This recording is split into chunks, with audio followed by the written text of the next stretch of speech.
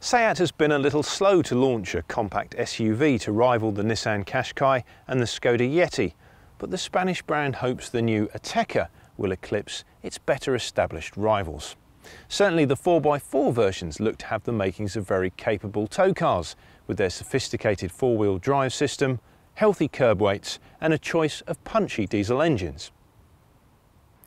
We're driving the range-topping 2-litre TDI 190 4-drive DSG Excellence. It has a curb weight of 1,589 kilograms, which gives an 85% match figure of 1,351 kilos. We've matched it to a Swift Expression 586, weighing 1,325 kilograms.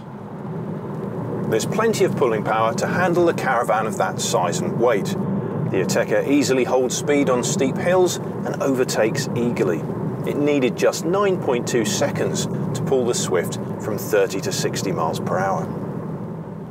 The Seat was unfazed by the lane change test, keeping body roll in check and changing direction in a quick and controlled manner. However hard we drove, there was no pushing or pulling from the caravan. The Ateca is stable in a straight line too, only when overtaking high-sided vehicles we sometimes felt some slight movements, but even then, nothing alarming. That stability makes the Seat a relaxing car to tow with, while a slightly more forgiving ride and less road noise at speed would make long journeys more serene.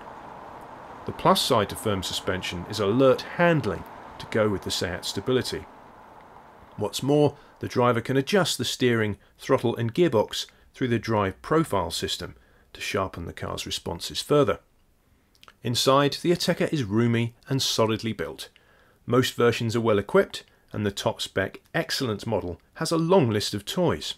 The interior may not be quite as well finished as a Volkswagen Tiguan's, but it's not a million miles away for a lot less money.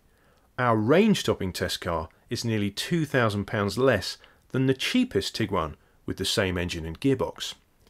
The VW may have a little more space in the back, but the Seat certainly isn't cramped, with enough head and leg room for adults to travel comfortably. There's a big boot too, with 485 litres for 4x4 versions and 510 litres for two-wheel drive models. A smoother ride and less road noise would improve the Ateca, but even so, Seat's newcomer has a lot going for it. It's a practical, quick and stable tow car.